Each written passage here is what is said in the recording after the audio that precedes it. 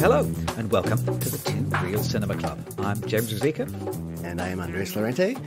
And at the Two Reel Cinema Club, we watch a couple movies, usually one old, one new. And then we talk about the two and to make some connections or disconnections, I disconnections, guess. reconnections.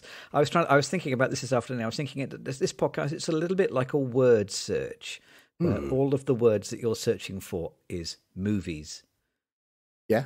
Yeah, movies, yeah. movies. but, not, not as in the names of different films. It's just it's just six letter word M O V I E S in every, in every Okay. direction. and we haven't we haven't gotten to One of those word searches that I can actually do. I was going to say we haven't gotten to the point where that's the only connection we could make between the two films. They're both movies. Yeah. It's a connection. Oh, yeah, you're too fussy. Um, uh, as always, uh, I'm going to appeal for you to, to come and contact us because uh, we're lonely and we need validation. So you can find us on Twitter. At, Two Reel Cine Club at twitter.com. We're on Instagram, Two Reel Cinema Club at instagram.com. We have a blog, uh, Two Reel Cinema Club.com, where we write various nonsense about either the films that we've watched or, or films that aren't in the pod. Uh, you can email us, reach us out. We, uh, we, we, we long for contact. We are uh, Two Reel Cinema Club at gmail.com. Just email in, say hello. We'd love that. And finally, if you're enjoying the show, or if you're not, tell your friends. You can find us on Apple Podcasts, Google Podcasts, Spotify, wherever else you get your podcasts, and we're on YouTube. Uh, we're all over the internet. Uh, say hello, listen to the show. Uh, so, uh, happily, this episode, uh, it's Andres who has chosen the movies, so things are uh, back to a little bit more highbrow and intelligent. rather than some kind of crazy sci-fi nonsense that I've chosen. So this episode, we're talking about Close, um, which is uh, a new Belgian film, uh, and then comparing that to 1999's Boys Don't Cry, uh, directed by Kimberly Peirce. Um, so uh, we'll start with the new film, uh, as we always do. Uh, you turned me onto this. You saw this uh, when it was out uh, at the cinema locally, didn't you? How long ago did you see this? Uh, it's been, I think, five weeks now that I think about it. Yeah, at the uh, I saw it at the local art museum, which shows uh, films, usually independent and foreign films, and it had just lost or was just about to lose the best foreign picture film to All Quiet on the Western Front. Ah, pod Yeah. favorite. Yeah, Um, although it did, it did win. It won the won the the Cannes Grand Prix, didn't it? um, Ah. last year. Which I had to look this up. So the Grand Prix now, it's like I think it's what used to be called like a certain regard, something like that. But it, yeah. it used to be like considered to be the the the um the uh, the second best, the runner up prize. yeah, exactly. At Cannes, so they had to change the change the name of it so it didn't sound quite so much like a runner-up prize. Yeah. Um, so Triangle of Sadness won the Palme d'Or, uh, d'Or, yeah. but Close um, won uh, the Grand Prix. Okay, So uh, let me tell you the story. please.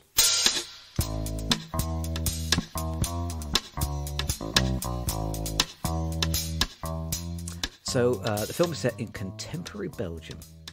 Uh, about two 12 year old boys, Leo and Remy, and their very close friends, uh, as implied by the title. So they play together, they eat together, they sleep together, they live in each other's pockets. Is that something you say in the States, living in each other's pockets? Is that a British idiom? Do you say that? God, no, you would not say that in the states. That sounds. Uh, No? yeah, that sounds Okay, terrible. right. That's, okay, that's that's a, that's the British thing. So, um, after a blissful summer, uh, the two of them both go up to middle school. But there, some of the other children start to taunt and bully them over their closeness, asking, well, if they're gay. So Leo uh, is desperate to fit in, so he denies this vehemently, and he starts to distance himself from Remy. Uh, and eventually, uh, after they've grown further apart, one day Leo fails to wait for Remy one morning so that they can cycle to school together. And so Remy challenges this rejection, and the two boys have their first fight. And then, not long after this, events take a more dramatic turn. hmm Um, so, when you saw this film, um, were there many in the audience? Oh, that's a good question. Um, probably seventy or eighty people, something like that. Okay, well, not bad then. not a bad audience. Yeah, yeah. Um, so yeah, kind of we saw it at home. Um, together, and I'd be interested to know how the audience um, react because there are a few kind of you know, very dramatic moments in this film. I know we tend to um, focus largely on the writing, and I tell you, there's one thing which um, I love probably more than anything else about this film, which is how tremendously underwritten it is. Yeah. Um, when we were both at film school together, um, the the screenwriting tutor used to often use this phrase. He was talking about looks and glances. He was saying, you, know, you tell the story with looks and glances, and that is absolutely um, how close works. Most of the story is told with looks and glances. I don't know whether you've ever written, I've ever ever read um, Story by Robert McKee. Do you know that book? I skimmed it because that was the hot book yeah, right, right around that time, right? Two, early Yeah, two thousands. Yeah, exactly. Yeah. About 20 years ago, this is like you know the hot screenwriting book, and I think I did Yeah. the same as you. I went out and bought it, and I read like about the first half, and it's Yeah. terribly, um, you know, it's it's far too long and far too detailed. It's very long. Isn't it the book that? Um, what is the film with? Uh, oh God, our good old friend Nic Cage. oh yes, Uh, orchid, wild orchid, white white orchid. No, it's it's all about orchids. yeah. Well, the, the film, the film that's about the writing of the film based on a book about orchids. Yes, but it's uh oh boy, it's he plays himself and his twin brother. So it's and it's based on Robert McKee and then sort of what would be Robert McKee's um twin brother. And I know the name. It's a one word title. I should know it. Separation or Let me- Uh, let me- adaptation. Adaptation, Adaptation. there you go. Um, so I think yeah, doesn't doesn't um, Robert McKee make a you know or a Robert McKee like character appear in that movie? Exactly. I think it's Brian Cox. Yes, I think it is, isn't it? he So- does a great so- job. So, uh, like in that book, like his main principle Yeah. for writing a screenplay is that he says that um, you know, and, and this is a principle that other people adhere to as well. He'll, he'll say that you have to make sure that every scene Yeah. has a dramatic purpose. So, like every scene has to feature a reversal Yeah. or a change or a pivot. You mm-hmm. can't end a scene in the same place that you started a scene. Every scene has to earn its place. And I can understand, you know, a producer will tell you, Yeah. you know, it's going to cost twenty thousand dollars to film this particular scene. Yeah. Does it have to be in the in the film? You know, does, is this necessary for the story? Is this mm. scene? You know, the thing that people would say is, is the scene working hard enough? You know, is it earning its place? Um, and this film is the absolute opposite. It's probably one Yeah. of the most underwritten films I've seen for years, insofar as I would say that almost none of the events, you know, events with a capital E Yeah. in this film actually occur on the screen. So for almost every event in the film, we see the world before it, we see the world after it, we see how the world changes when the events happen, but we see the story kind of in retrospect or kind of sideways on. We see it, you know, reflected in a window or a mirror. Yeah. The story is told by, you know, a broken door handle, you know, that you glimpse out of focus. Ugh. You know, it- the story is told by, uh, you know, an emptying bus Yeah. um, rather than you having many scenes um, uh, of people telling each other what's going on or the camera following the action as it happens. Um, and I think that's you know that's a proper joy, isn't it? You have to do a little bit of mental work to make sure that you keep up, but it means you end up with a very authentic feeling um, bit of story. Very real, right? It ends up being very, very real. as a result. Absolutely. It's very, very believable. You you sort of just stole all of my thunder for the entire pod. So I don't know if we end now or we just listen to you the rest of the way. But um, I, I agree with you entirely. And um, like this, one thing that really struck me in this film was the set. The set pieces don't exist. They don't occur on screen, and set pieces are super expensive. Um, for example, the concert that there there are two concerts where um, Remy's performing, and the focus is really just on the two boys watching each other. One while he's performing, one um, watching uh, the Leo in the audience. Um, and that could have been done, you know, with more shots of the whole interior, and it's it's almost done as if it's just a chamber and it's just the two of them looking and glancing. Um, or the bus scene that you occur to. I mean, you think you're going to get taken into this school, and there's going to be this big um, session talking about what happened uh, between the boys or what happened to one of the boys, um, because we haven't rung the spoiler bill yet. We won't talk yet. anymore. Um, but that scene again could have been a big set piece, and it's not. And that's that really occurred to me. Like set pieces are so fake; they're kind of artificial most of the time. The wedding scene or the big funeral scene or whatnot. Um, and as a result, this it's smarter because you're shooting a less expensive scene, um, and that might be one of the reasons it's underwritten. Um, but it's also just I think it's more believable as a result because these are believable events, not these over the top things that have to be organized and and catered and such. So um, it was it's interesting in that way. I think uh, I agree with you, spot on right there. Shall we ring the bell? I think probably we should because there's yeah uh, uh, there's a you know important thing that happens at the midpoint which makes it difficult to discuss the film without revealing it. So, so ring the bell now. Ring the bell. You know how much I spent on this bell. I'm going to ring it. It tolls for thee. That's, I'm never going to get tired of ringing that. So that's good, isn't it? I like that. I like it. It's good. Woke the dog up. Um, so, uh, so there is a central tragedy um, in this film, and uh, I, I don't want to give the impression that the um, the way that the film is underwritten means that it is also very loose because it's it's kind of it's not loose. There's a very clear structure here, I think. Again, kind of just focusing on the writing, which is only a small aspect of what I think makes this film so good, but um, there are clear act breaks, aren't there? And the, the, this is a device that we've seen you know, in other films. The, the, the, film is shaped around the shape of the school year, isn't it? It's measured yeah. against the changing seasons. Mm-hmm. So Leo and his family, they are flower farmers or flower growers, like they run a flower nursery, something like that. You know, and um, you know, it's, and it's not a particularly subtle use of symbolism, but it's mm. tremendously effective that yeah. these flowers are an important part of telling the story. The flowers are in full bloom during this kind of early summer of the boys' friendship. You know, and then uh, um, content warning um, Remy takes his own life, and uh, following that, you know, we have scenes where the flowers just like turn into mulch. They're churned up yeah. by farm machinery um, as the boys kind of um, you know separate and then are separated forever, and then you know at the end of the film, you know the, the, the same symbolism comes back into play, doesn't it? Because you know Leo goes through you know a, a, a big transformation. He has to come to terms with what happened and his own role in it. And as he starts to move on, you know, we see the new blooms start to emerge. There's a scene, you know, right at the end of the film um, where Leo confesses his feelings to Remy's mother. Um, and uh, you know, and that happens like in a forest of like saplings. It's these young trees that are growing up. I mean, it's you know, it's a very um, consistent use of this kind of this nature and this flower imagery to illustrate the story. But I think it really works. I agree with you. Yeah, it's it's beautiful, and the the running through the fields makes it. It's very sort of minorly epic, I guess. Um, these running through the field scenes and they and these bicycling scenes as well. So you really get a sense of the landscape and how the landscape affects them.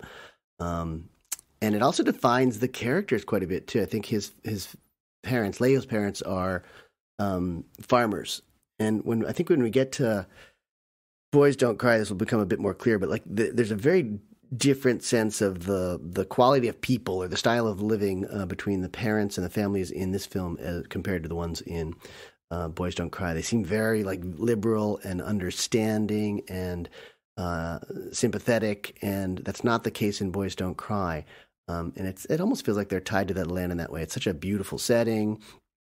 They must be doing pretty well. I mean, they're living pretty well as, as flower farmers. And then I never uh, the Remy's mother is a nurse, maybe a um, uh, what is it, a NICU nurse or something like that? Or yeah, a... it's a SCBU, I think, is what we call it in this country, the Special okay. Care Baby Unit. Okay, yeah, so go, it's like it's like intensive care for newborns. Yeah, so I mean, they have they have like caretaking jobs or jobs that are uh, bringing beauty or, or service to the world, um, which we don't see in Boys Don't Cry, and I think that's something we'll we'll talk about a bit more when we get there. Um, but I think the landscape defines them and just the, the sort of culture that they live in. And it's also so they're they they are French speaking families, but they're going to school in is it Dutch or in Flemish or something like that? Yeah, it's like one of the teachers talks in Dutch, like the yeah the hockey teacher talks in Dutch. Yeah, I was yeah I was a little bit confused about this uh, initially. I just assumed the film was in France, but sure it's in it's in Belgium, isn't it? And yeah, like Belgium's has like three national languages, yeah. doesn't it? Most yeah. people speak French, but some people speak Flemish, and yeah. some people speak Dutch. And I'm guessing it's not a big country; it all just gets mixed together. Yeah, and it seemed like for the, the, those students, they were learning Dutch at the time or Flemish. I'm not sure. I mean, in the school, they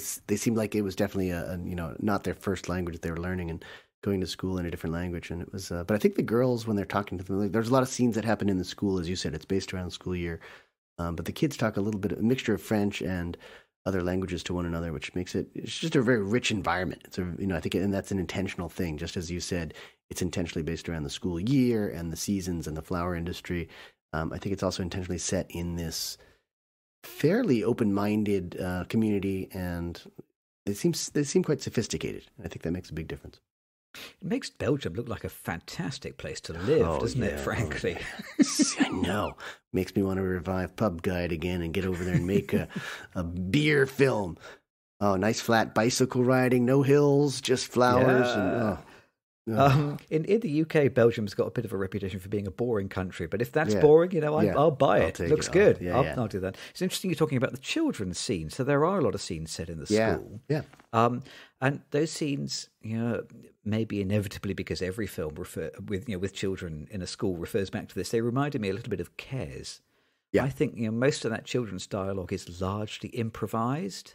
Uh, it doesn't really feel like that. You know, the, the children feel kind of quite natural and um, unstagey, yeah. and it gives it again. It's it's that sense of authenticity, isn't it? Yeah, Um, great and great, great adolescent acting. I mean, I didn't have a problem believing any of the characters, and I think you you might have a point there that they were probably told what they needed to say in scenes, but it might not have been too closely scripted. And I, I've seen that recently. Like, uh, if I write for kids, I, I fortunately I work around. Well, fortunately or unfortunately, I work around high school students all the time, so I can I can imagine how they would speak and how they say things naturally that I wouldn't write naturally. Um, so perhaps uh, Lukas Dhont gave them some some liberty with how they were going to phrase things, but this is what has to has to happen in the scene. And it is the kind of film where I feel like they shot probably a lot of extra stuff just because um, um, it's loose in that way. You've mentioned loose in the writing, but also loose in the filmmaking. Um, in terms of it, it, I don't know if they were in session in school session at that time, if they had access to the school for a couple of days or something like that, but you know, it just nothing felt horribly staged. It all felt really pretty natural and that's the you know kids were probably speaking naturally as a result. There's a, another kind of looseness to the film, which is a there is a kind of narrative and character ambiguity that runs all the way through the the film. I mean, there you know it's simple plot points like you know it's it's never explained in detail how Remy took his life or you know exactly what happened during his last hours. And you know most films that would deal with you know the non-accidental death of a young person Yeah. um, would probably go into that in quite a lot of detail. Yeah. The other thing is, it's never really spelled out precisely what the boys' feelings for each other are. You know, uh, uh, you know, they're twelve and they're very young, and you know, it's Mhm. not clear how much of this love is sort of platonic and how much of it is kind of, if not sexual, then sort of sensual. Yeah. Um, I did read after seeing the film that I think you know the intention was to give the uh, the impression that Remy probably uh, was gay um, and Leo was rather more ambiguous. Um, and having read that, I can see after the fact, oh, maybe that's one way to interpret it, but I don't think it. Um, I don't think it comes across as a definite single interpretation of the way that the characters' minds work. I did. I read an interview um, with uh, uh, it's uh, what's his name, Lukas Dhont. That's it. He's the director, um, uh, and uh, he was kind of saying that um, he was talking about uh, how people need to put things in boxes Yeah. To label people as either you know are you gay or are you not. Um, he I read this. I wrote down this quote in my notebook about how he says how we want to compartmentalize everyone into boxes and labels, Mhm. and how we want to put a stamp on love, not let love exist in its true free form. Hmm. There is something uh, joyfully carefree about their kind of um, you know their closeness. They're kind of like soulmates. These two boys, you know, they're very close, but their closeness spills out into their physical relationship as well as their sort of mental psychological one. It's this very sort of sweet, clear, you know, innocent friendship. Mm-hmm. But even when you might call it innocent, I still think you know there is a sensual enjoyment to one resting his head on the other, or you know the closeness that they have when they share a bed. Yeah. And it doesn't necessarily mean that it's a sexual thing, but it's a you know a, it's a physical pleasure, which is part of the pleasure of enjoying somebody else's company. Yeah, I agree. You know, he he can. He, it's interesting because he can talk about not compartmentalizing characters, but to a certain extent, he does such a great job of leading us to that. It's almost like you're compartmentalizing the audience. You're taking them right to this is the implication here. You know, do with it what you will. Um, but I definitely had the the the sense that. Um, uh, that Remy might have had more than platonic feelings for Leo, but it wasn't it wasn't over the top by any means. It was definitely subtle, but I think he takes the audience there, and that's I think that's just a sign of good filmmaking. He's he's giving us an idea that we should probably bite at and and follow down the rabbit hole a little bit. Um, so I thought he did that very well. It's not overt. Um, it does. There are questions, um, but it's enough. The, I think the thing that's really compelling is it's enough to take the story to a tragic place, and then have to have have the protagonist have to deal with the aftermath. I mean, it's interesting what he chooses to focus on because it is, you know, it is very much like Leo's story, isn't it? And you know, the yeah. camera naturally gravitates to him, you know, in in every scene, and he absolutely holds your attention.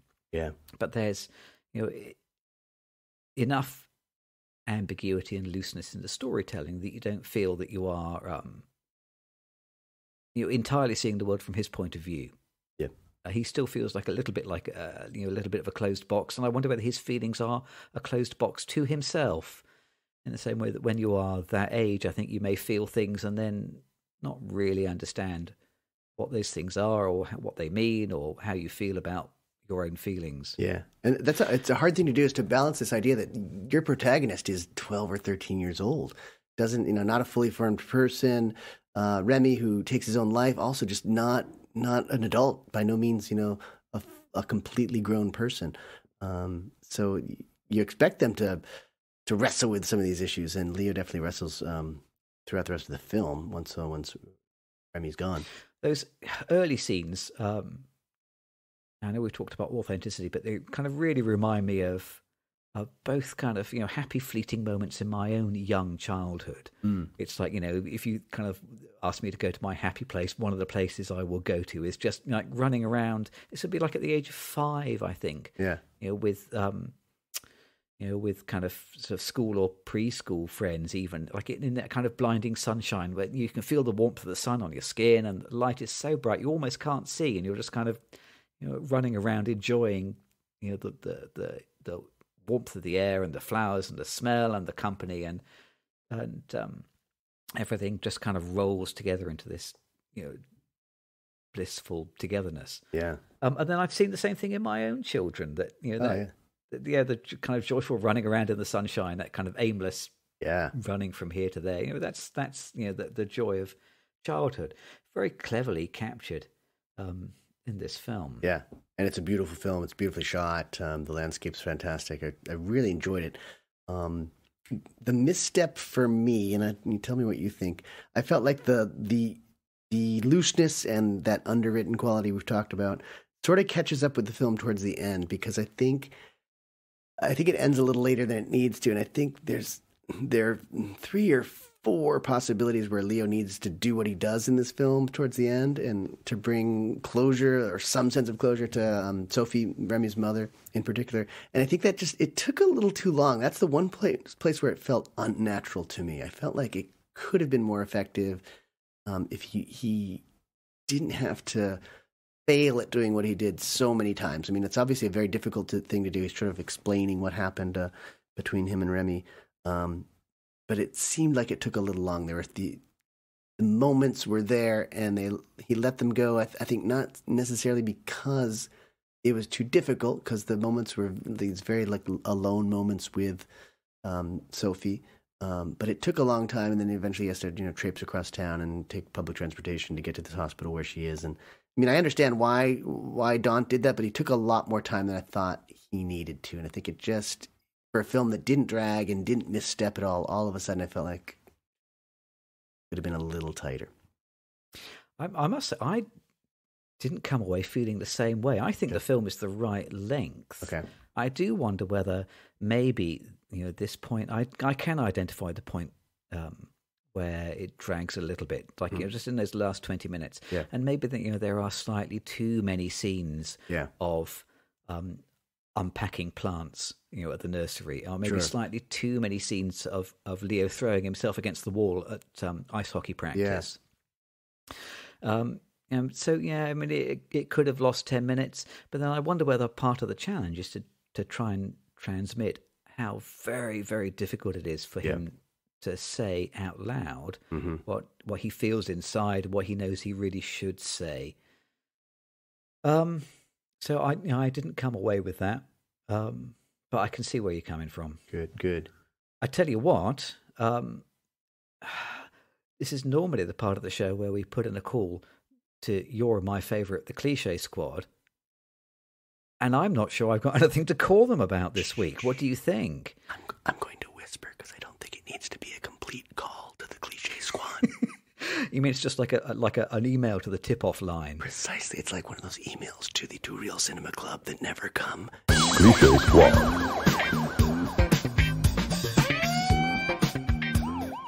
Okay, well let, let's let's email. We'll send a text to the Cliche Squad this week. This is my text.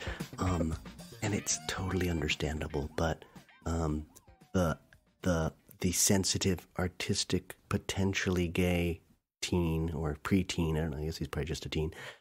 He's the oboe player, and the potentially hetero preteen is a hockey player. It felt a little a little crude, but I get it, I understand it, and it works in the story, but it, it, it certainly went along with convention, I guess. That's kind of conventional thinking. He's a beautiful oboe player, um, puts on a beautiful con- uh, um, uh, concert, and Le- that's that's Remy's character. And Leo, of course, um, I think in part to get get away from like to become diametrically opposed to the the creative type, the artist type.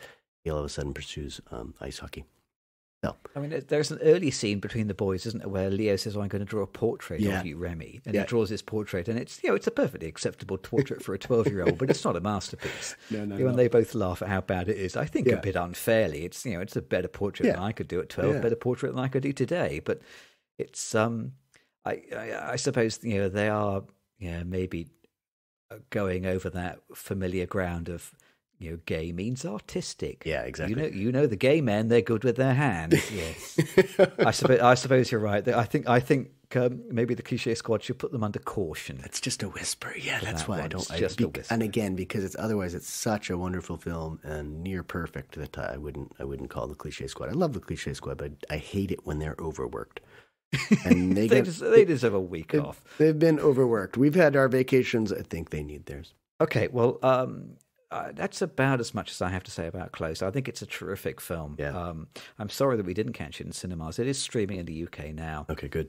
Um, deserving of its Grand Prix. Yep. Terrific picture.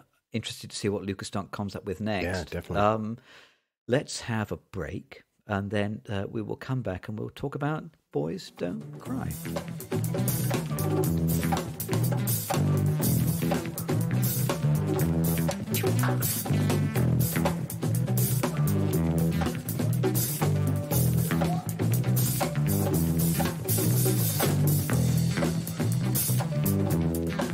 This episode of the Two Reel Cinema Club is brought to you by the TRCC Florida Driving School.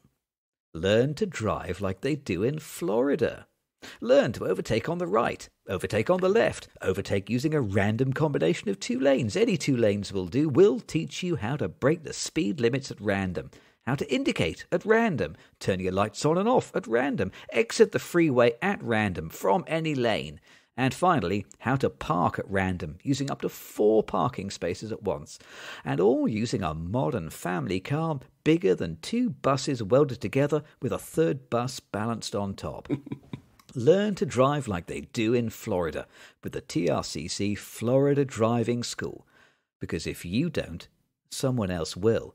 And they might be driving behind you right now. Ooh, I just had a quick look over my shoulder. We just came back from Florida, and you know it, it's funny because it's true. Yeah.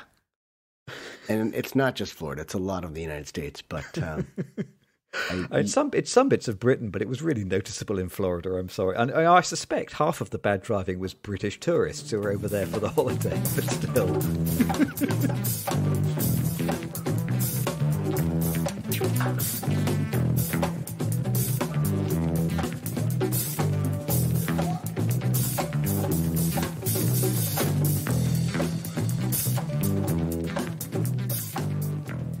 And we are back from the dangerous roads of Florida and the beautiful, the beautiful environ of uh, Belgium, France, and any other country that they border on. I thought it was Dutch at times too. That was the thing that uh, was confusing me about close. But um, all the cycling, isn't it? All that cycling. yeah, it's the biking. So much movement. c- cycling, and they're flowers as well. That's a Dutch, Dutch thing, isn't it? Yes. Well, but the Dutch are tulips, right? They're really crazy on the tulips. And I couldn't figure out exactly what the flower was. I have this program on my application that identifies plant life just by, you know, you take a picture of it basically and then it And it tells you that's a plant. Yeah. In many cases, but most often it gets you right down to the binomial nomenclature. It's fantastic. Oh my god! Yeah, yeah, it's good. Um, so we're going uh, from. Ooh, this is a hard transition from the beautiful Belgian France or any European countryside to. I think we should call it Benelux. Benelux, That's, what the go. Europeans call Benelux. it's a- that covers a lot of a lot of ground. There you go, Beneluxian film. Uh, we go to Nebraska. Oof. It's, Uh. it's dusty, at times muddy, and people. What do they call that? Bumper ski or ski ski ride? Yes. People fall off trucks for Yeah, fun. Exactly. Yes. So they uh, get around and rip up dirt in the back of trucks while they are uh, trying to throw them off. Um, so this is Boys Don't Cry from 1999. Um, for me, for me um, uh, one of the, the main players is Christine Vachon, who's just this great independent producer. So this is one of her earlier things. If you look up Christine Ah. Vachon, she's done so many different things, and she wrote a book that I have skimmed a little bit more than story, but uh, by uh, McKee. But this is a, a Killer Life. Um, she wrote a, so it's a really good book about uh, producing independent films, and this is a very, very independent film, kind of at the height of the American indie uh, movement in 1999 Mm. written by Andy Bienen and Kimberly Peirce, who also directed uh, the film. So it's an, ear- I think it might have been Kimberly Peirce's first feature film. I think it was, yeah. And she hasn't done an enormous amount since then, actually. So she made, um, I looked it up, Stop Loss in 2008, Yep, so nine years after this, which I have not seen. That's a kind of a, a U.S. Army veteran movie. Okay, And then, and then she made the Carrie remake that's right. in 2013. Interesting. which I have seen and which is kind of disappointing, uh, Oh. which is not, you know, um, not a film that I would uh, compare to this. But, Odd mix of films, yeah. Um, but then it's, it's a question of how much you can get made, isn't it? Yeah. Now, you you picked the films this week. I did, I did. This, this is our new our new feature, um, which is just tell us why. How come you came to pair Boys Don't Cry with with uh, Close? Do you have any other questions for me, Counselor? I don't know. I don't know. I think Excellent answer, and pressing on. perhaps per- from a, a paucity of options, I think that might be what it is. Is that um, um, I I loved Close. I loved the fact that it was um, you know dealt with these kids who were potentially uncertain of their sexual identity, and I thought, well. Uh, the Hilary Swank character, and Hilary Swank is great in this film. She really put herself on the map, and I think won some big awards. She may have even gotten a Best Actress at the Oscars. she did get the Oscar, Yeah. yeah. so she definitely got on the map on this, but she's playing a slightly older person who seems very certain about her sexual identity. Like there's no there's no um, question in her mind. I thought that would pe- uh, play pretty well together. yeah. Um, yeah. So thematically, I thought they were you know they're not that close thematically, I guess, but um, in the same neighborhood. Even though Nebraska's nowhere near Benelux, I figured these two films are in the same neighborhood, so I think, no, I think I think they have quite a lot of common ground. Yeah. Actually, I don't know. Well, well, um, well, we can talk about that later on. First of all, why don't you tell us the story? I will. I will. I mean, I've got to cut down what I've written to because you are laying down the gauntlet. It's much longer. Anyway, bleak, flat, dusty, boring Nebraska um, is where this thing takes place. Uh, Teena Brandon passes as Brandon Teena. Gets a little confusing. Um, and this is based on a true story. I've done a little research, and I think you have too, to figure out how much is true or what plot, points are true. Um, but um, he garners some bad attention when he's roller skating and kissing a young girl, and he has to leave his town, or I think the Lincoln, Nebraska area, which is kind of the big city. Ends up meeting with this woman, Candace, and her brother and his guy friends. Um, Brandon gets into a fight and leaves with the gang for a town called Fall City. That's a red flag right there. I would not go spend an hour, nonetheless, uh, weeks in a place called Fall City. Um, it's a, about an hour away from his hometown, I think. Um, Brandon becomes smitten with Chloe Sevigny's character Lana, um, who sort of has a complicated relationship and a very childish mother Right. who is uh, an al- uh, alcoholic too. So here we're getting into that family thing that I was talking about with the first film. Um, her mother's probably what late thirties or forties maybe, and dating John Lotter, who is um, uh, played by Peter Sarsgaard. Um, And that's when Brandon starts to prove his toughness and sort of masculinity by bumper skiing, is what they call it. They're, you get in the backs of these picker, pickup trucks. I mean, there's probably not a lot to do in Nebraska. so on a Saturday night, people drink a lot of alcohol. Everyone's got a pickup truck, so there's no shortage of pickup trucks. And then you stand in the back holding on to it's almost like water skiing in the back of a pickup truck, and the driver, who's probably not sober, is trying to get you to fall out of the truck. But this is Nebraska, so it's normal. Um, at the same, I think in the same night that that happens, um, Brandon is also sort of um, haunted or visited by a menstrual cycle that he must hide because he's trying to um, keep the fact that he's actually a woman or is born a um, woman. Assigned, what do we say these days? We say uh, gender assigned at birth would be a female. Yeah. Um, ends up staying around town too long because he's in love with Lana, and he sort of becomes a part of the whole gang and sort of becomes a member of the family in the process. Um, uh, let's see, and but is very much passing as a man. Uh, he wears his breasts wrapped very tightly. Carries, um, I don't think you'd call it a cod piece. It's like this latex penis that he uses, Yeah, uses in a love scene with uh, Lana. So they're obviously getting very intimate.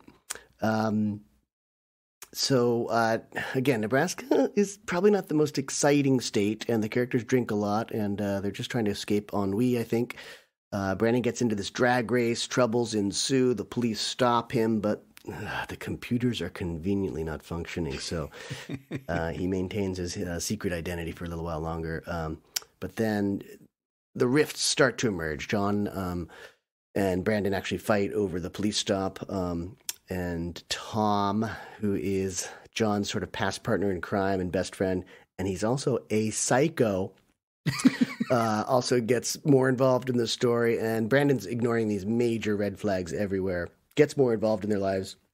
He goes back to um, Lincoln, I believe it was, for a court appearance.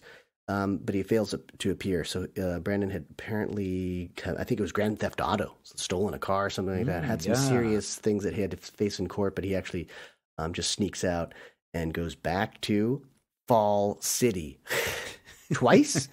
Crazy. What are you thinking? Um, Brandon and Lana consummate their relationship. Uh, Lana remembers this the night well, and I think I want to talk about these flashbacks a little bit with you as we get uh, moving along because they're a big part of the film.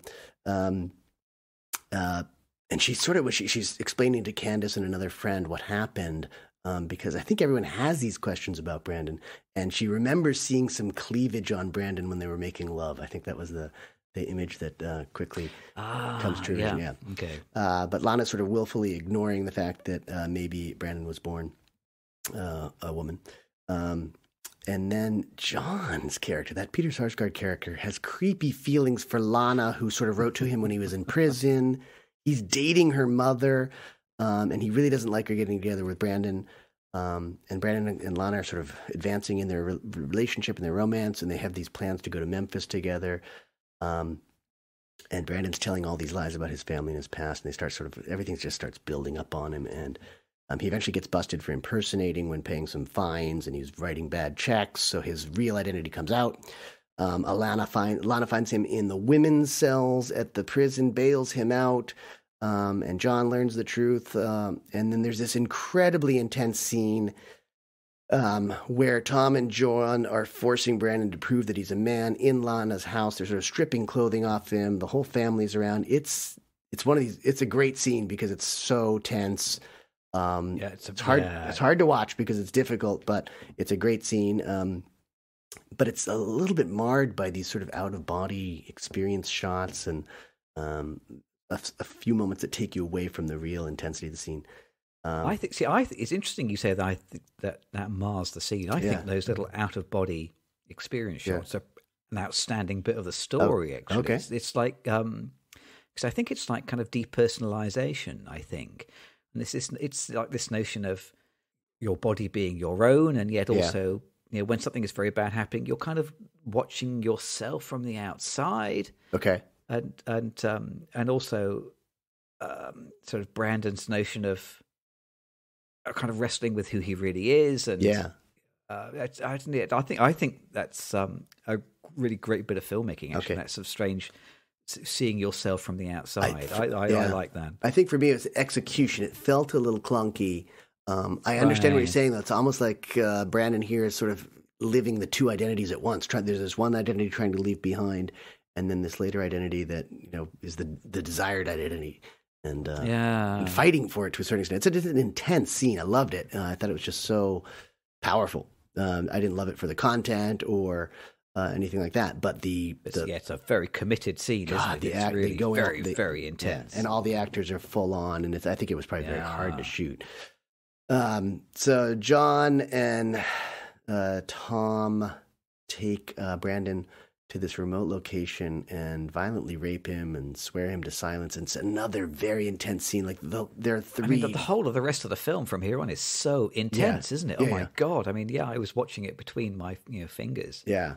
And um, Brandon ends up going to the police for sort of like a rape test. And uh, it's a very peculiar, unsympathetic, but very 1990s interrogation by the sheriff. Um, Uh, Ooh, and I got I want to just single out this one moment of acting because it is it's fantastic.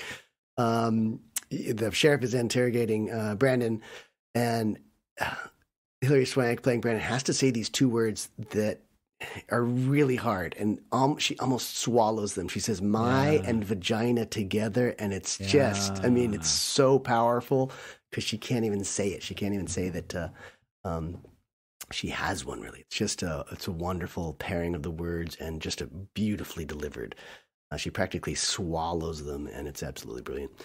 Um, I think uh, for me, the next little bit does derail a little bit. There's some flashbacking. Maybe if we'd told it, the story more in sequence, it would have been a little easier. But I, I understand the director's choice here. That um, Swank sort of goes back to a flashback to see what happens after that rape scene. So we've gone from rape scene to the interrogation, and um, turns out she went back to the house. They they told her to clean up. She escapes through the bathroom, and she's she's really wanting one last chance to escape with Lana. Um, and they've decided to go to uh, at least Lincoln together and maybe to Memphis. But John and Tom turn up, and with guns and knives, boy, it's a violent scene. They catch up with uh, uh, Lana and uh, Brandon at Candace's house. They kill Brandon with a gunshot, and then I think what is it? Tom jumps in for good measure, does some stabbing as well. yeah. Uh, Candace, who's totally in- innocent, is caught up in the fray. She's killed right in front of her toddler child. Um, and it's based on true events. And I had read that Candace's boyfriend, I think it was, or a friend in the house, was also killed. Yeah. Um, and then we get this sort of last oh, epilogue like scene where there's a letter that's found, I think, in maybe Brandon's jacket to Lana or uh, left behind in the house because uh, originally Brandon was going to go on without her and try and have Lana join him. Um, sort of gives voice to, to Brandon one last time and sets up Lana. There's this uh, bit at the end where she's going to go off to um, Memphis on her own and sort of live out their dream. Um, so that's Boys Don't Cry. Oof. Uh, yeah, and it is very intense. I remember watching it at the cinema Yep. in nine, in like 2000 or Yeah. 1999 when it first came out and finding it very intense there. I think I had forgotten a lot of the story beats there. So Yeah. watching it again this week, um, it, it is you know a very intense film, and it is an absolutely outstanding. Uh, you know, career making, deservedly Yeah. so, performance by Hilary Swank. I mean, just astonishing. really. astonishing and and it, i i had never seen anything in film like that before so that's yeah we're looking at 20 almost 25 years ago i i like you i saw it in the theater i think i saw it again in 2000 i think it took a little while to sort of move around because this is a very independent film um, and accomplished with, I imagine, a pretty small budget. I didn't research the budget budget online. Just just under two million Yeah. bucks is what I read. tiny. So, Um, so small, yeah. and you, you see it sometimes in um, the sound quality is sometimes lacking. Um, there's some lighting decisions that don't really look that professional, but they might have been just using street lights nearby or you know headlights on cars and that sort of thing. I mean, there Mm. there's some moments where you think, okay, it's a little too bright for this scene, or it's not bright enough, and um, but it all works. It pieces together a very, very, very good film. Absolutely, yeah. It's like the you know the the story, the character is what takes you through the whole Yeah, story, the whole whole film. So absolutely, I t- talk just talking about you know I'd like to kind of talk about the writing. It's got this really really simple um, shape. This film, it's it's basically a triangle, isn't it? I was trying to kind of sketch it out that kind of it's you know it starts with you know Brandon's life basically on the up from the beginning. Mm-hmm. You know, and he goes on this kind of roller roller skating date with Yeah. a girl, and then moves to Nebraska, and you know, even his setbacks, um, you know, in the early parts of the film, he's still smiling and laughing. Yeah. you know, nothing can hold him back. Yeah. and he, you know, he moves to Nebraska. He meets Lana at 18 minutes in. I, I noted it down. Okay. Um, you know, and then and then you know his life is gradually just kind of getting better and better. There are a few kind of you know tricky moments and run-ins, but you know what, things are getting better and better. And then they, you know, uh, Brandon and Lana finally make love like at the midpoint. Yeah. You know, and that's the that's the apex of the triangle, the Mm-hmm. peak of the movie, and then everything progressively unravels from Sure. there, and it's just a slow, continuous decline Yeah. to the absolute rock bottom. From there, it's just a straightforward triangle, and it completely works like that. I think. Yeah. The one thing is the pal the the palpability of uh, Brandon's and Swank's happiness on that upward arc. You constantly smiling, as you mentioned, and, and it's just it's a character who is sort of becoming his his true self, I guess. And you can see the elation just leaving one part of Nebraska behind and going off and being able to become the person that um, he wants to be. And that that is an incredible moment, and you can see it on Swank all the way. And then the downward part of that triangle, it's totally understandable. Humans make terrible mistakes, and especially when you're um, in love or you think you're in love, um, you don't always make the best choices. And it's, as I said, you go to Fall City. I love the fact that it was called Fall City, but there are just so many red flags. There's so many reasons to get out, but obviously the love for Lana is what prevails. And so that you're right, it's a precipitous fall uh, down towards ultimately death, and uh, it's you know it's tragic, but it's true. A lot of it was uh, very of it is close true, to, yeah. and in some ways, I wonder if it was too close to the truth in some ways, but um, it makes a great story. It's a great story, and it's a great film. Um, It it film. I One thing I've put in my notes here Yeah. is there's like a little storytelling beat in this film that Mm-hmm. I think belongs in absolutely every film. okay, Um, and you know, I'm always disappointed when I see a film where this doesn't occur because I think it's you know just central to storytelling in general, which is um, this moment when the protagonist makes a choice. yeah, Um, you know, we saw with um, uh, with Close that Leo, um, you know, he chooses to you know get closer with the hockey players and Yeah. to distance himself from Remy, and this is what precipitates the whole story. Yep. You know, in this film, you know, early on in, in the second act, Brandon has a choice basically to either hitch a ride back to Lincoln, Yeah. with this kind of slightly dodgy looking truck driver guy, Yeah. to appear in court you know, and get his life sorted out and do the sensible thing, you know, or he can stay, you know, with Lana and his buddies in Fall City, and he chooses. And you see this moment where he chooses to stay, and all the rest of the events of the film flow from that choice. Yeah. you know, and it's and it was like just a, just a passing moment and this fleeting choice. You know, and if that one choice had been different, it would have been a very different story. Yeah. you, know, you see him making the choice, and that makes everything that happens after it that much more poignant. I think. yeah, Um, it's a really kind of simple. It's almost like a trick, really. It's like that hero's journey beat of, Yeah, of course. refusing the call, isn't it? It's this, this very simple little story beat, but it makes everything that flows after it, you know, that more powerful. yeah. Or the choice to leave the courtroom is also a very obvious choice. Could have uh, sort of come clean with the law, but makes this one choice not to to stand before the judge and figure out what's going to happen. Be, again, driven by love for Lana and the desire to get back. Um, the way in which it's almost too real for me is that I felt like the the tense scene where they are um, learning the truth about Brandon's um, uh, gender identity um, is that's kind of that climax for me, and then sadly more stuff happens. I think that's what it is. I think, I think Ah. I'm disappointed that the the characters just didn't, you know, defriend him or say you can't hang out with us anymore. But they have to go on and rape um, Brandon first, and then get revenge by actually murdering her. So that's why it's almost too true because you've got these two other beats that because you're doing it's not a biopic really, but you're doing a film where you want to honor the story. You've got to put these two other ugly moments after this big ugly thing has happened, and you could end a film on that on the other the, the other scene, and it would have been intense um, and you know oddly satisfying in terms of story, not satisfying in terms of oh it's a happy ending. Um, but you, the directors and the writer, they decided to keep in uh, those other two scenes, and you know that does a great service to.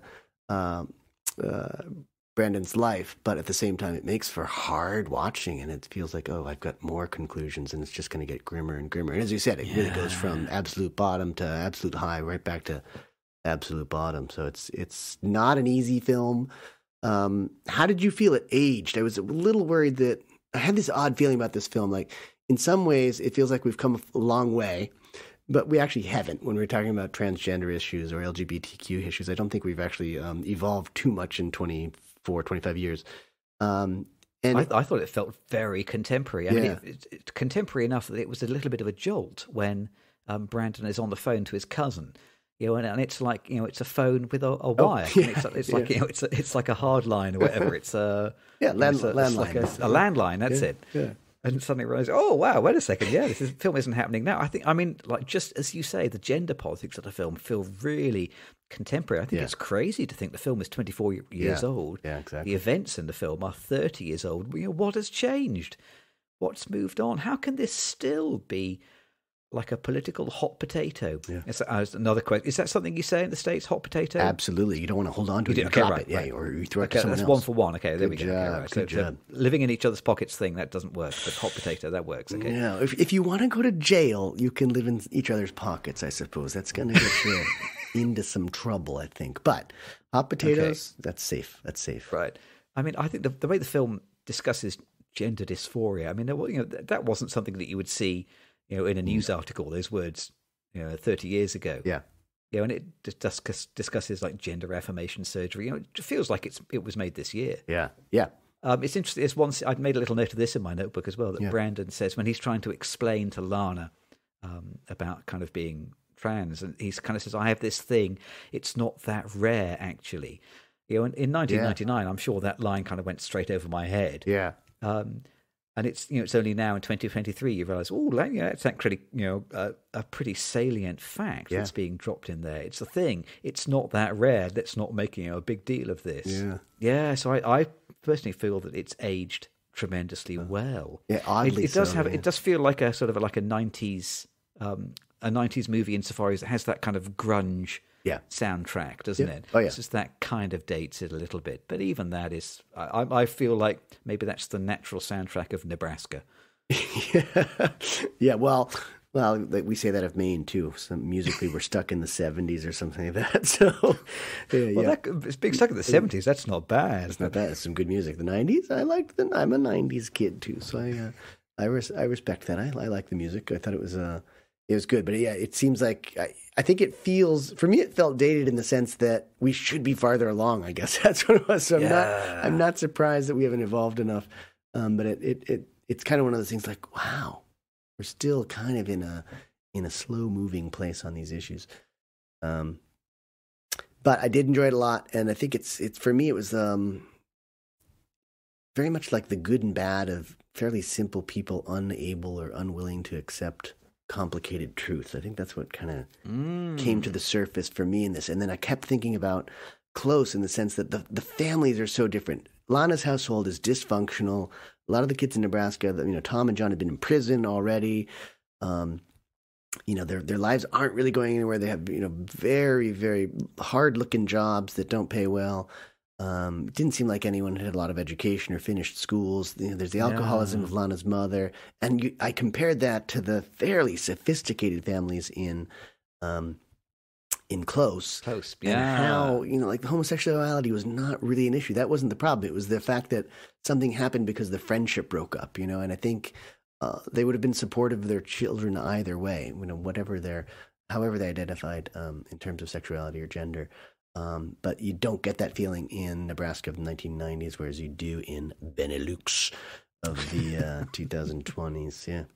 It's another reason why we want to live in Benelux. Yeah. Absolutely. I mean, I, I couldn't agree more. I think the thing that makes um, uh, Boys Don't Cry absolutely is the characters, isn't it? It's this, Yeah. The character work is just outstanding. All of the characters, apart from, you know, maybe Lana's mother, who is she's a little bit one note because she's basically just perpetually drunk. But Yeah. I would say all of the other characters, like, are really proper three dimensional, well rounded Yeah. characters. They have proper depth. Yep. Like not just you know Brandon has you know there's many aspects to Brandon's character. It's kind of you know good boy, bad boy, ambiguity, self confidence, self loathing, kind of you know planning for the future and sort of maybe being unrealistic at the same time, sort of being reckless and impulsive, but sometimes being a realist, sometimes being a dreamer, like all these different um, aspects that make a unified proper character. The other characters as well, like you know Lana, she's she's contradictory and complex. Yeah. And like one of my favorite moments in the film, and I know that um, the real uh, Lana, uh, on whom the character is based, she sued the filmmakers because she felt that she was portrayed um, unfairly Yeah. uh, or un- unrealistically. In the movie, um, when when Lana sees that Brandon's being kept in the women's section of the county jail, Yeah. she is both surprised and not. Yeah. It's like you know, it's this thing behind her eyes. She actually she kind of already knows. Yep. And I, I hate to draw. This is like.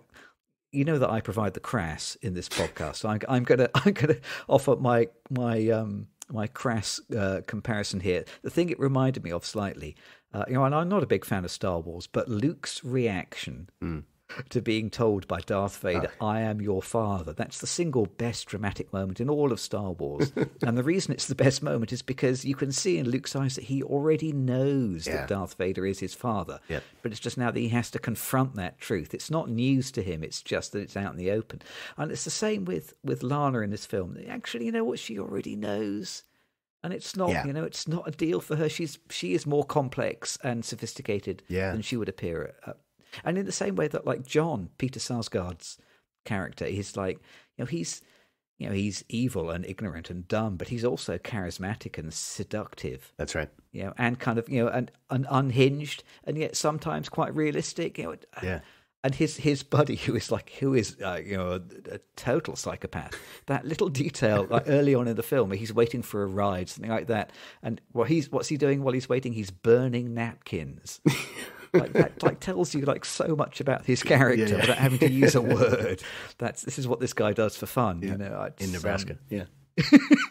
Very good characterization. Yeah. absolute so the characters are just great in this film Yeah, yeah. you know are, are dreadful but you know but oh But and so many um, really early in their careers too. yeah wow They're all probably like 25 and younger, something like that, and just nailing it in a in a really important film. So I that gives, Yeah, gives it so- a lot of energy. Gives it a lot of energy that is um, really pays off in the film. Yeah, exciting, significant movie. Mm-hmm. Okay, well, we've we've talked about the characters. Mhm. Um, we, we ought to play our new favorite game. Who am I? Who am I? I you know I I can't even remember who went first last time. You are going first. Who are you? Am I going to go first this time?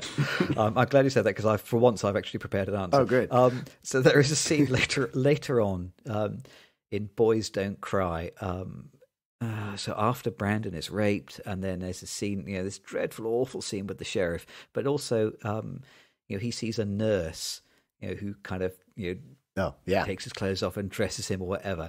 And it, it just that nurse who only appears for one scene and she has like two lines, but there's a beautifully well observed mixture of compassion and frustration Yeah. in that character. Yeah. And you can kind of see um, that, you know, this is probably, you know, the fourth time this week that she's had to patch somebody up after a sexual assault.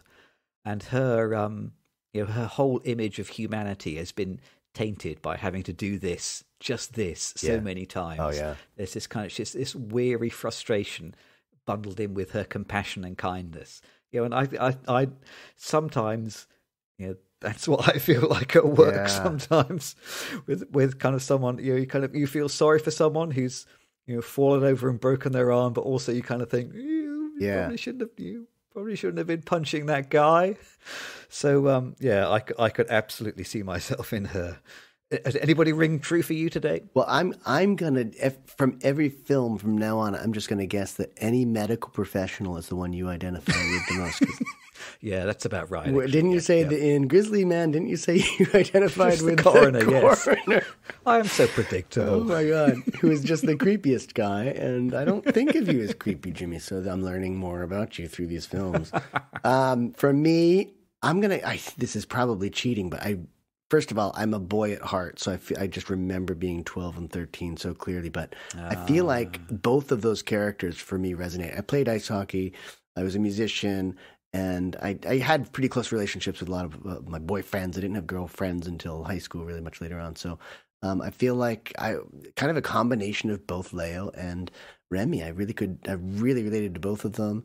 And even though it's been 40 years or more since I was that age, um, I definitely, they, they were such great characters and they, I think they were so well acted as well that um, I just really responded to the, both of the characters. So I saw the both, uh, like the athlete in myself and the artist in myself in the, the combination of the two characters. So if I could be two characters, I guess that's some sort of uh, um, um, body um, body dis, dis what'd you say dysmorphia or something? Dysmorphia, yeah. Maybe I have Body that. polymorphia you have. Yeah. Maybe that maybe that's what this happened with this pairing of films as I split my personality in two. Well, it's, it's, it's, I, they're both good boys. It's Yeah. nice to want to be both of them, I Yeah. think. Good. Uh, uh, so right, uh, let's let's let's do our kind of synthesis. See if we can, you know, bring these two films together. Yeah.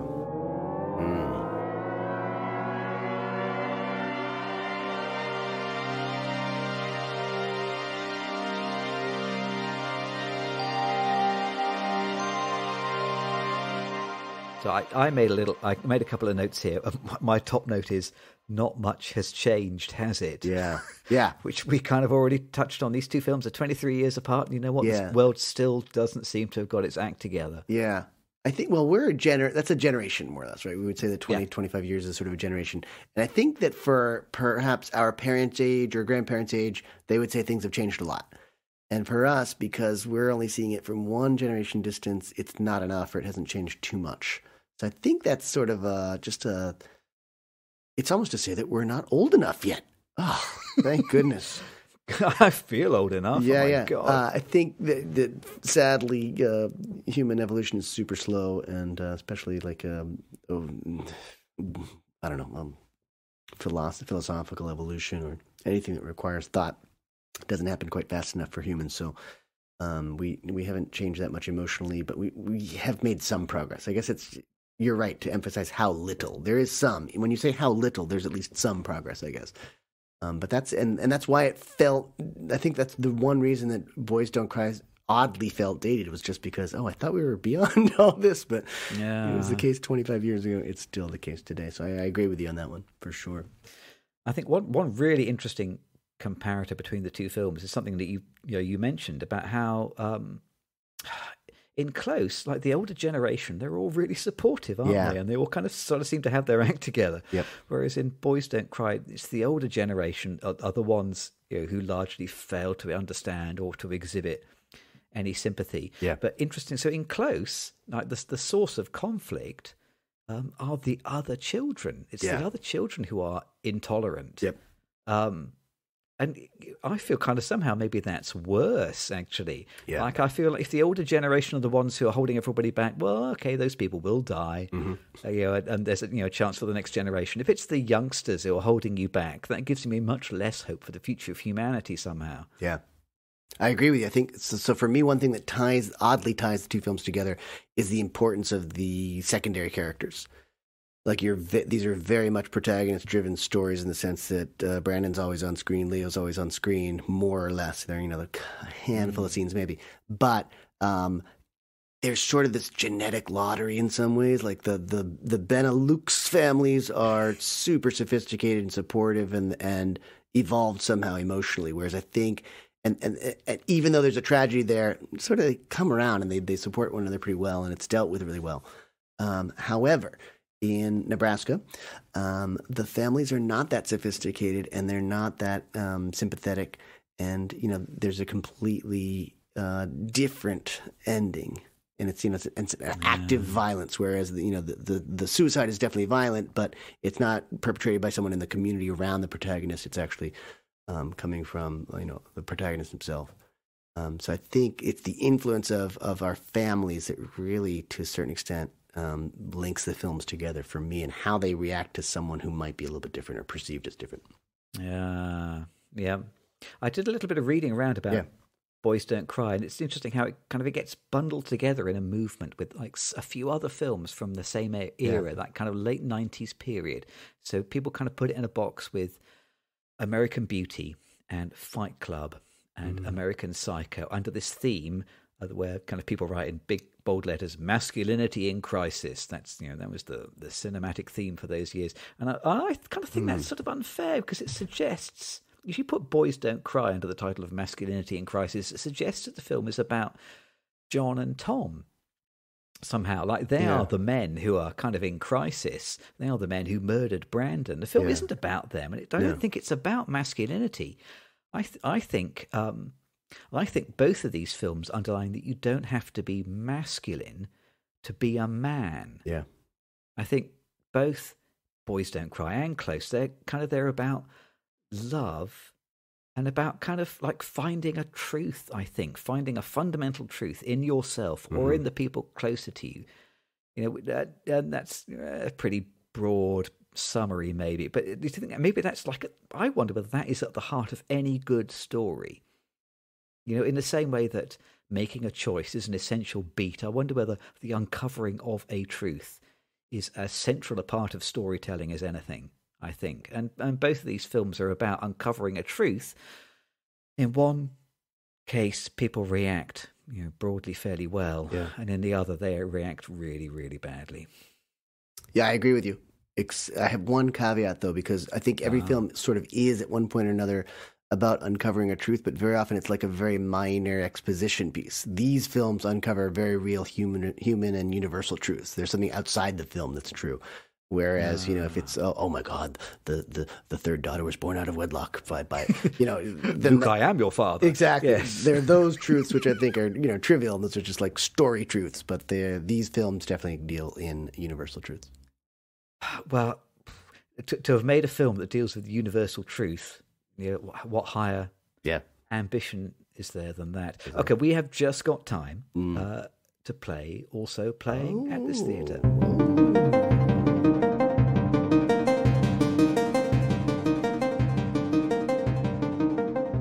I'm, I'm going to force you to go first this time. You always see more films than me. You, you see- always see loads of stuff. What have you seen? Well, I will. Uh, the caveat here is that my theater was the the the screen embedded in the airplane seat in front of me for three of these, I guess. Um, Well, I love that theatre. it's easy, and you can turn it off when you need to. Um, and then uh, one one I saw on DVD. Boy, I feel dated again. Um, I saw The Fabelmans, which was a Steven Spielberg film that just came out in what end of 2022.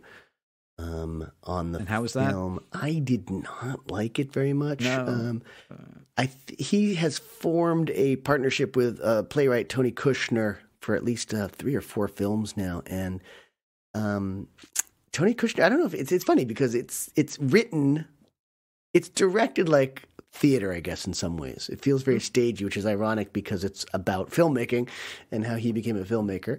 Um, and yet I couldn't tell if it's the writing. Like Michelle Williams, who was up for some awards and celebrated for her performance, felt very, um, very stagey, like using the body way too much. You know, in film, you don't have to you don't have to be seen from the back row in a sense. So um, my wife was watching it next to me, and she said, "God, it looked so so bad because it looked the acting was like physically overacting, um, and that was definitely true." Um, and so I just don't know if that's a good partnership, and I don't know if Tony Kushner should be writing films, but that's my take. Um, I'm not a big Spielberg fan to begin with, but. Uh, so the Fabelmans was one thing I saw. I saw Tar, which is a super kind of intellectual film starring Cate Blanchett, um, made by a Maine filmmaker. Actually, um, Todd Field is uh, lives just up the coast from me here. Um, hasn't made a lot of films, but um, very well known for a Maine film called um, In the Bedroom. Ah, Yeah, yes. which is a wonderful film. Um, and it's a, it's remember you were talking about um, boy looks and glances and the twenty thousand dollar scenes that should be cut. This is full of scenes, and it's very much a character study of a person who's really not very likable. Um, and it goes on for two and a half hours. I liked it. It's a lot about classical music, so I think you really need to be into orchestral music on a certain level. Um, but she's a really well done character and very unlikable. But um, I'm not going to say it's a great movie, but I did enjoy it. I saw part of The Whale, which was a play, um. And that's a Darren Aronofsky film that just came out fe- featuring Brendan Fraser, um, Right. who was very, very much uh, celebrated for his. Everyone thought he was dead or something. That his return and his return to great acting or whatnot. I think my favorite film, though, out of the bunch was something called Blue Bayou, which I grabbed at the library right after I returned Boys Don't Cry, I think. So Hmm. uh, Blue Bayou is just a couple years old. It takes place in uh, around New Orleans. Um, so it's a it's a man who lives in Louisiana. He was adopted from Korea um, when he was very young, and his adopted parents did not fill out the right paperwork. So he's in danger of being deported. This is a true story too. Um, and then he's uh, he has a baby on the way with his girlfriend, who's played by Alicia Vikander, and he already has this. Her daughter has really um, attached to him as her her true father. Um, so it's a story about him getting um, deported, and it's a very honest and uh, kind of a difficult story. Really well acted, great child acting. I think this is something interesting about this week is that I've seen great child acting or, or young person acting between Close and Blue Bayou. I've seen some of the best um, uh, young actors um, performances in a long time, and uh, so that's a lovely film, and I would recommend that one for everyone. If you can get it on DVD, it's not that old. I don't even know I was put out on DVD. It was, um, think, 2021 or 2020 in the last couple of years. So very good. And at the very end of the film, they show these real life cases of uh, people who had been adopted into the United States, but their their adopted parents didn't do the right paperwork, so they were actually being deported. So. it- yeah, it's Oh, man. sad but good. But I bet you saw something fun or actiony or Or like lowbrow, teen- that's yeah. correct. I'm going, I'm going to see your child acting and raise you with robot acting. Oh, so I, so, excellent. so I, like you, have been on a couple of long haul flights Yeah. uh, since the last pod. So I've seen loads of films, but I'm only going to mention one, which is Megan, Mm. um, which is an absolute blast. So this is a sci-fi horror film with this a strong black comedy bent Okay. about like a new generation of toy um, that's too smart and too capable for anyone's good, and you know everything Yeah. that could go wrong does go wrong with hilarious and you know terrifying bloody consequences. Um, it's a Blumhouse film, so you know relatively low budget, Yeah. directed by Gerard Johnstone. So he's a New Zealand director. He made a film called Housebound a few years ago. I don't know if you've seen that No, I haven't. No. which is like a small, slightly culty kind of uh, um, ostensibly a horror film, probably a horror comedy as well. I would call that. Okay. Um, which is great fun because that goes through so many different twists and turns. It's tremendously inventive. They squeeze an enormous amount out of two hours or an hour and a half. Housebound, great fun. Um, Megan, also great fun. Uh, I watched it you know, on a long haul flight and guffawed my way Oh, through, good. the, through the and sky. it is it is supposed to be comedy then.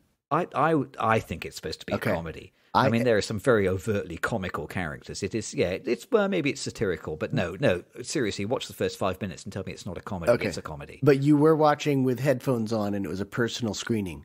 yes, so I was irritating all of the rest of the passengers. That's correct. I just wonder. There, though I saw the trailer a million times, and I loved. Uh, there's this one moment she said, "You better run." Right? Does that happen in the film? she's she's about to beat this boy up or something, like that, and she says, "You better run." I mean, it looked.